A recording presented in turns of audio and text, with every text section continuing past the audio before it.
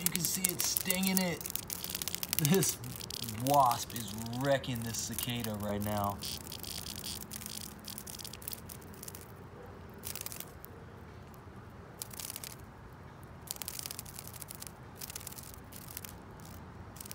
Epic battle.